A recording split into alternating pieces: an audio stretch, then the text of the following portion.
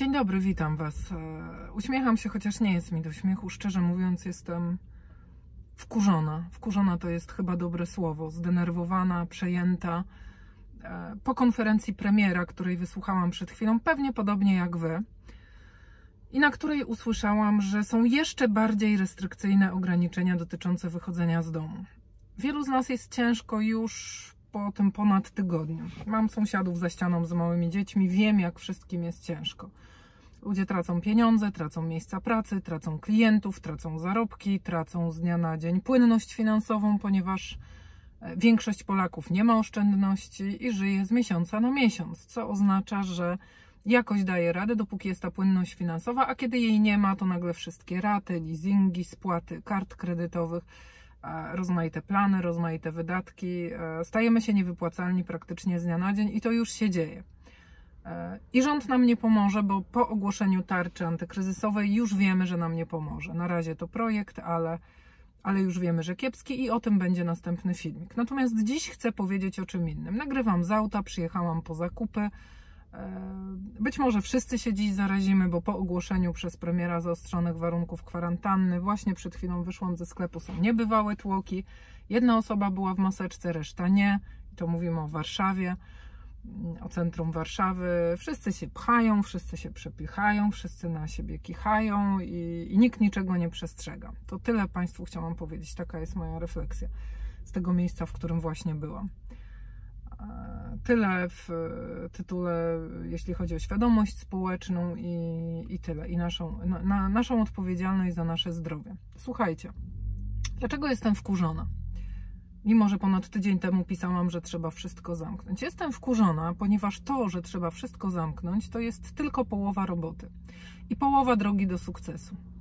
Zamknięcie wszystkiego ma sens, ale tylko wtedy, uwaga, kiedy politycy zrobią 50%, które należy do nich. Zrobią swoją robotę. Myśmy swoją zrobili. Zamknęliśmy się. Ze statystyk wiemy, że Polacy są jednym z najkarniejszych, jeśli nie najkarniejszym narodów Europy. Siedzą w domu sporządzano takie mapki na podstawie danych z mobilności telefonów komórkowych i wiadomo, że w przeciwieństwie do Włochów, nawet jeszcze w tej chwili do Francuzów, do, do wielu innych narodów, Niemców, siedzimy w domu karnie. I to by zadziałało, i pewnie trochę zadziałało, ale mogło dużo bardziej, gdyby politycy, bo to była połowa roboty, więc okej, okay, myśmy, społeczeństwo, swoją robotę zrobili. Natomiast druga część roboty należała do polityków. Testy, testy, testy i jeszcze raz testy. Dofinansowanie służby zdrowia. Respiratory, może za te 2 miliardy, które poszły na propagandę w TVP. Gdybyśmy złożyli nasze siedzenie w domu, naszą część roboty świetnie wykonaną, z testami, dofinansowaniem służby zdrowia i e, z robotą, którą powinni byli zrobić politycy, to może byśmy już dzisiaj mieli luz większy z perspektywą e, końca e, epidemii. Ale nie mamy, ponieważ robotę zrobiliśmy tylko my. Politycy nie zrobili nic poza konferencjami prasowymi.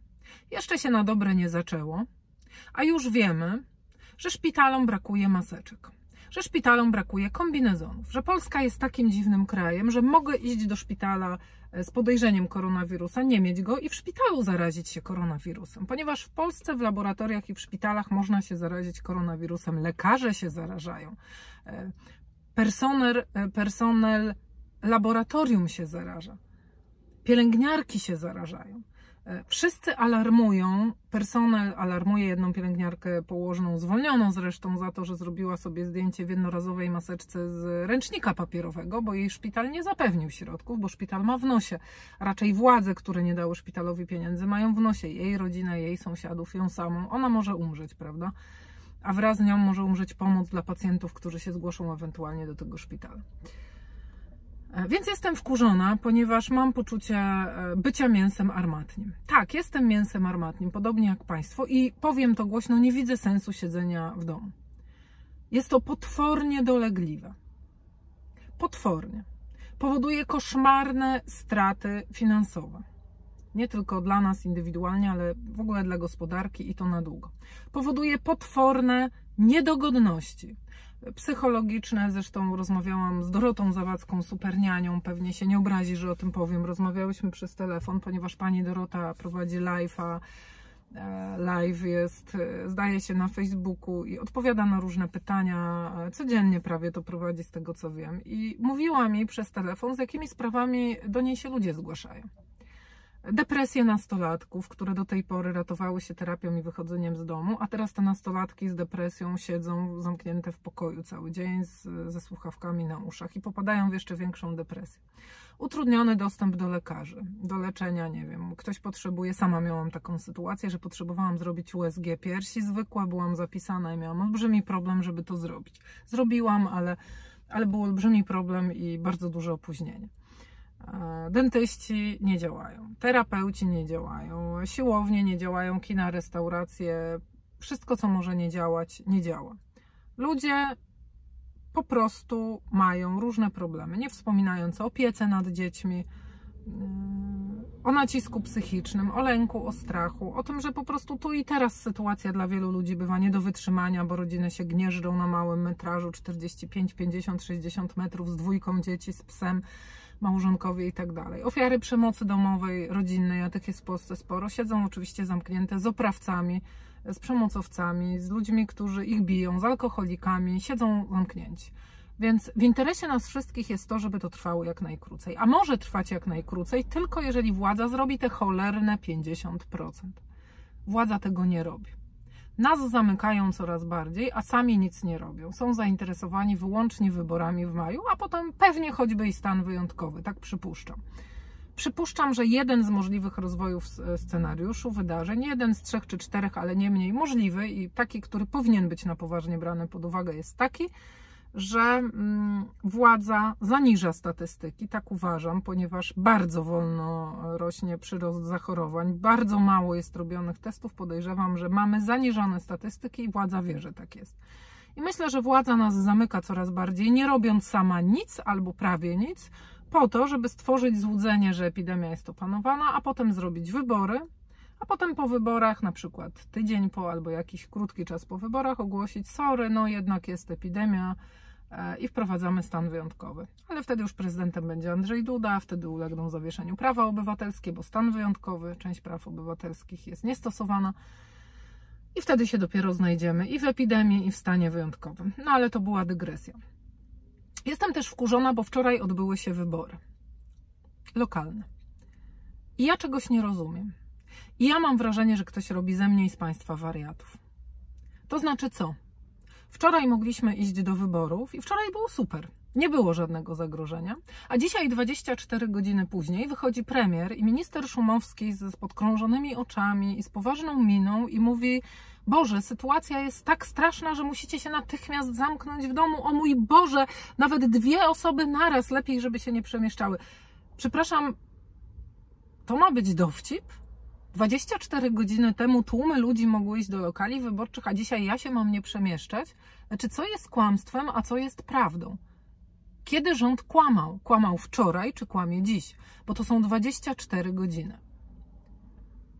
Nawet czytałam wczoraj na portalu Onet y, zalecenia ekspertów WHO, którzy już zaczynają mówić, że nie jest możliwe zwalczanie epidemii w Europie wyłącznie trzymając ludzi w domu. Wyłącznie. To znaczy tylko zamykając ich w domu i nie robiąc żadnych innych ruchów. To nie jest możliwe.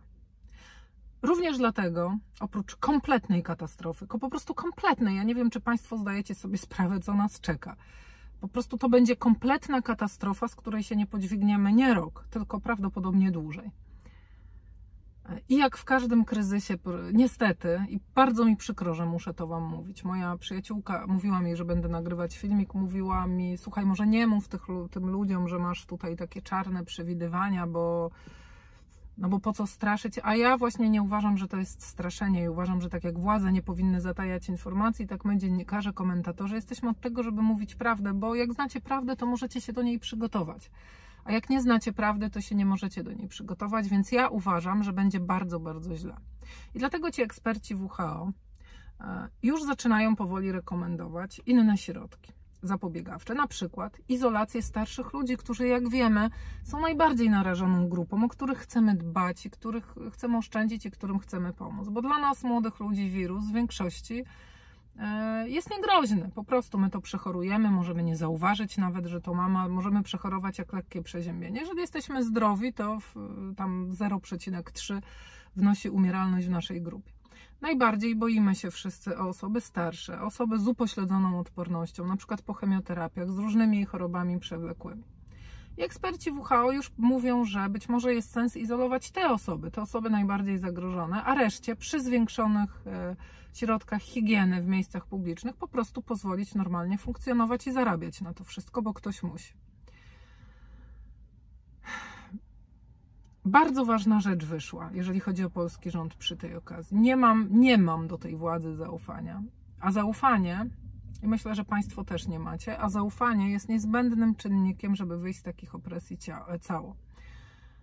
E, musimy wie, wierzyć, wiedzieć, widzieć, nie tylko wierzyć, ale wiedzieć i widzieć, że politycy mają plan, że wszystko, co robią, łącznie z najbardziej dolegliwymi E, ograniczeniami jest po coś i oni wiedzą po co. Oni mają plan. Mają plan A, mają plan B i mają plan C, a nawet plan D.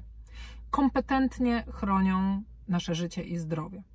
I wtedy, kiedy jest to zaufanie między obywatelem i władzą, nie odbieramy takich rzeczy jako represję, tylko odbieramy takie rzeczy jako niezbędny e, krok, żeby ustabilizować sytuację. Ja niestety już tego zaufania nie mam. Notabene na konferencji premiera dowiedziałam się, że ja nie mogę wychodzić e, z domu e, z nikim więcej niż najwyżej z drugą osobą w uzasadnionych sytuacjach, a katolicy mogą zbierać się w grupach do pięciu osób na msze. Przepraszam, po raz któryś jest sytuacja, że są równi i równiejsi. Andrzej Duda jest równiejszy niż my wszyscy, bo on może jeździć po Polsce i stanowić zagrożenie dla siebie i dla innych. Ludzie wczoraj mogli iść na wybory i było w porządku, a teraz się dowiaduję, że katolicy to jakiś inny, lepszy ode mnie rodzaj człowieka. Bo katolicy nie zarażają. Katolicy mogą się zbierać w pięciu, my możemy we dwójkę, oni w pięciu. Przepraszam, oni mają inne DNA, to jest jakiś inny rodzaj gatunku katolik niż reszta ludzi. E, oni inaczej zarażają, oni powodują inne zagrożenie epidemiologiczne, to jest po prostu niebywałe, że nawet w sytuacji życia i śmierci, bo takiej w sytuacji jesteśmy, e, robi się takie wyjątki, tak niedorzeczne, tak niezgodne z prawem i niezgodne z konstytucją wyjątki, tak niezgodne z prawem. Bo zgodnie z konstytucją wszyscy jesteśmy równi wobec prawa, a to nie jest równość wobec prawa. Jeśli ja, ponieważ nie jestem katoliczką, mogę się spotykać do dwóch osób i muszę siedzieć w domu, a katolik, ponieważ jest katolikiem, może się spotykać do pięciu osób i sobie może wyjść na mszę i nie musi siedzieć w domu. Proszę Państwa, jestem wściekła. Nie pamiętam, kiedy byłam tak wściekła, ponieważ rzadko się wściekam, rzadko się aż tak złoszczę. E, szczerze mówiąc, jak jestem o coś zła, to raczej ironizuję, to jest raczej mój typ wyrażania emocji. A teraz jestem po prostu wściekła, jako obywatelka, jako dziennikarka. Uważam, że jesteśmy traktowani jak mięso armatnie. Bardzo przedmiotowo i niezgodnie z prawem. Uważam, że się z nas kpi w żywe oczy, nawet w zarazie roz, rozróżniając równych i równiejszych. Uważam, że to kpina w żywe oczy mówić, że majowe wybory nie są zagrożone. Uważam, że to kpina. I pytanie, co z tym zrobimy? Niedługo nagram dla Państwa następny filmik o tarczy kryzysowej. Czekam na profesjonalną analizę E, jednej z wielu kancelarii prawnych, które to dostały do tak zwanych konsultacji społecznych, chociaż chcę Wam powiedzieć, że te konsultacje to fikcja, bo kancelarie to dostały w jednego dnia w południe, a następnego dnia już rząd miał na tym pracować, więc to jest po prostu kpina dawać profesjonalistom parę godzin na wyrażenie opinii. Wszystko, co się teraz dzieje, jest kpiną oprócz postawy obywateli. My sprawujemy się dobrze. Ale niestety to nic nie da, ponieważ swoim postępowaniem politycy wyrzucają nasz wysiłek do kosza. Czy wy wiecie, że ten wysiłek pójdzie do kosza? Jesteście tego świadomi, drodzy Państwo. Wasz wysiłek, wasze zaciskanie zębów, organizowanie opieki nad dziećmi, chronienie seniorów, wasze pieniądze, które nieodwracalnie straciliście, w wielu wypadkach pracę, wszystko to PiS wyrzuca do śmieci. To ląduje właśnie w koszu. Ponieważ są równi i równiejsi, ponieważ się kłamie, ponieważ się zaniża statystyki, ponieważ się daje 2 miliardy TVP, a nie szpitalom na maseczki, na respiratory, na odzież ochronną, e, ponieważ się nie mówi prawdy i ponieważ się nie dba o ludzi. Do następnego razu. Wybaczcie mój dzisiejszy nastrój, ale, Ale tak to już po prostu teraz jest.